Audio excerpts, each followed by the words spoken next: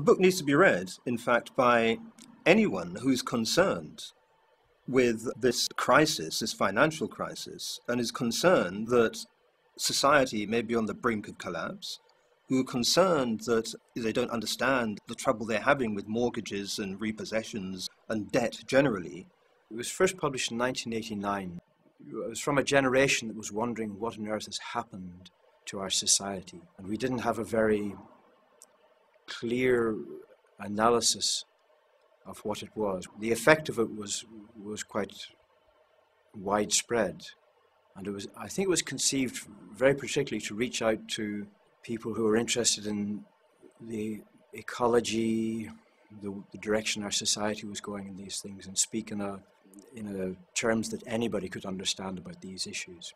As uh, Dr. Hakimi will testify, it was the effect of it was felt in Malaysia on the other side of the world. How can the book be relevant to Muslim or even non-Muslims?